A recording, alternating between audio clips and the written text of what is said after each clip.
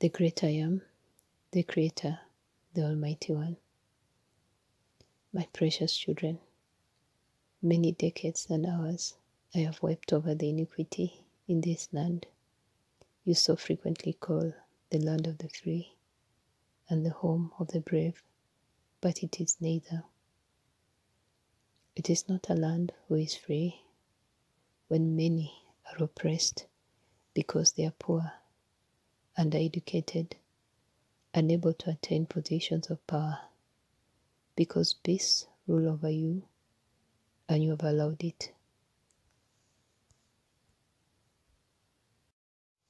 In fact, many applaud these deceitful, evil rulers because they encourage the masses to embrace their sins against others and against me, the Holy God, the one true God, the I am that I am. And because you have turned away from me, great judgments will follow. For what you have witnessed, allowed, and participated in these past years, this last year is like preschool for the demons and entities that desire your complete and utter destruction. Believe me when I say, much greater evil is coming. Heed these warnings and truly repent unto me, or see your destruction with great suffering.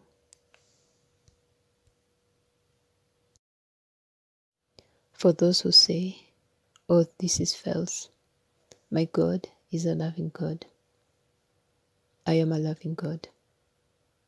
I am also a righteous God. And while you have allowed great pollution and wickedness into your pulpits without accountability, I must judge, for you have simply ignored your spiritual responsibility and allowed many others to be tainted by their poisonous lies, heresy. I will not stand for it any longer. You evil men, the ones you call your spiritual leaders, guides, are wretched men indeed, and they perform wretched acts every Sabbath and throughout the week much to my dismay. It is an abomination unto me, the true and living God. How dare you judge me for judging your spiritual decay and inaccuracy, saying that it isn't the Creator, the Father, when you know so little or even next to nothing about my true character.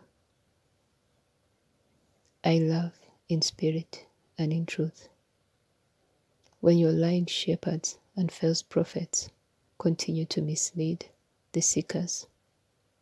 How can I not stand in judgment of these frauds? Do I not have a responsibility to expose those who speak lies about my plans and purposes? Do I not love those who are true seekers? Despite that many of you grew up in the church, you know nothing about me but what you hear for 20 or 30 minutes a week in your pew. When was the last time you cracked a Bible? When was the last time you prayed for wisdom? When you never even bothered to seek the answer which awaited you right in my scriptures. You didn't even suspect that the answer was there, awaiting your search to give you direction and understanding. Because you never spend an intimate moment with me, except when you are in trouble or facing a desperate moment. Some even call these prayers your Hail Marys, just because they are not seeking wisdom but only protection. They are, don't let my boss fire me for being late three times this week, or let the questions in this test be easy because I, instead of studying, I snuck out to see my boyfriend or girlfriend. Do you know how many of these types of selfish prayers I hear a day? Can you imagine what I have to listen to instead of repentant words or sorrow? Father, forgive me for yelling at my daughter when she asked me to spend time with her and I wanted to complain about my husband on the telephone with my sister. I'm sorry I hurt her feelings. I'm sorry I gossiped about my husband. Lord, cleanse my heart. I don't hear many of these types of prayers when I should be. I am is not your puppet. I watch over the prayers of the righteous, but I must turn from the unchanged hearts. Your nation is in tatters. You can see this everywhere you go. Yet, despite the opportunities to stand up to the murderous spirit upon your land, you are just happy you can go back to watching concerts and sports in your arenas. You do not realize you are a frog in a pot and the water that has begun to boil. I am is separating the wheat from the tares. Those who have eyes to see know what time it is. I will not have mercy on the stiff necked people that choose to do life their way and refuse to bow a knee. I spoke years ago to this wanton Jezebel heart attitude, and I saw it even before I sent my son. In vain they worship me. It is even more true today. You worship electronics, homes, cars, titles, clubs, convenience, clothes, sports, gardens, movie stars, entertainers of all sorts. You are so enamored with your stars that you even letting them into your pulpit. There is a time and place for everything.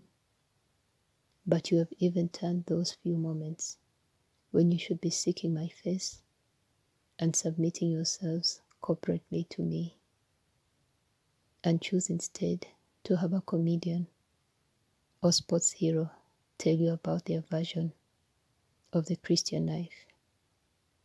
It is appalling. The plagues are coming, and many of you are still watching dog videos on YouTube. Nero played the fiddle while Rome burnt, and you are watching porn on the dark web. You will suddenly realize you have nothing, and the world has rejoiced at your fall the terrors that are coming upon your land have been set in place and are about to be activated. You will never return to normal. Be prepared. First and foremost, repent. If you don't do anything else, I want your soul with me for eternity. And until you get your spiritual house in order, nothing else matters. My kingdom is at hand. I am soon returning to the earth through my Son, and he will bring forth the righteous. Those believing that they will mysteriously disappear before the judgments come are woefully mistaken. It has been a grand deception by the father of lies. He wants to defeat those who think they can close their eyes and Jesus will make everything perfect again. This is known in the psychiatry field as magical thinking. I am did not transport the Israelites to the promised land in an instant. They had to follow my steps. They had to choose their attitude and to walk in faith. You can see how often they failed when their eyes returned to worldly things, including worshipping a calf made of gold, which they had created with their own hands. They had great impatience in my ways, so they chose instead to be led by the evil one.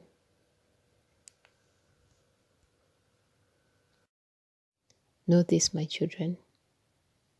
You toss me aside at your own demise. You are created in my image. I am is not created in yours. If you dispense with me, you have dispensed with yourself, for you are created to fellowship, worship, and follow after me, because you are a part of me. I allowed free will because I wanted those with a true desire to connect with me, not puppets.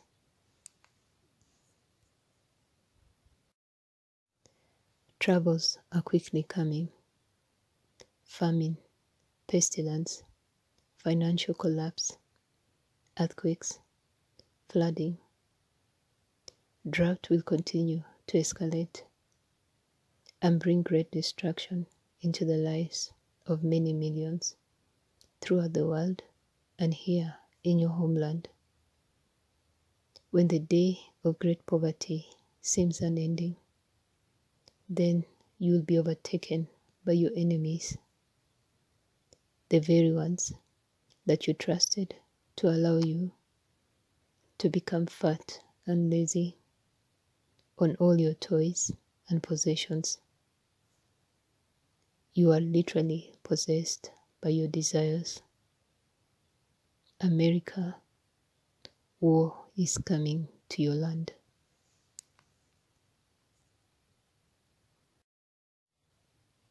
You have waged many wars that you had no business being involved in, but you decided to preserve your lust for goods so that your interests had overridden any sensibility or consideration for those who are impacted. Now, O oh America, you in the United States, the self declared diplomacy experts, will be dealt a blow so severe you will never recover. Your wives will experience the full treachery of war, watching their children whom they nursed being brutally murdered, and their own bodies bearing the brunt of treachery. Men will be impotent to stop the stunning morass and flagrant evil that comes upon you. Your entire sense of a life worth living will be challenged in every way. Do not think this will be avoided because I will magically remove you. No. The protection you will have will be miraculous, but you will surely see the harvest for the evil your nation has sown. I surely promised that there is seed time and harvest. You do reap what you sow. Now, my children, your spiritual harvest will be rotten. There will be little that will be worthy of taking from the ground, so it may be eaten. There will be fighting for what is available. Prepare for that day for it is about to come upon you. Do not hesitate, for this will be the folly of many. I promise you that you will not want to deal with hungry people that have no sense of morality or regard for their fellow man. They will be fighting, combat, and murder for a partial loaf of bread. Imagine the insanity that is to follow when things become even more desperate.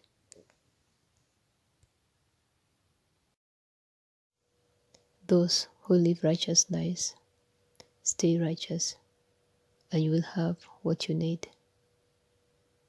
Do not be foolish and step out of my will, for it will be your own destruction.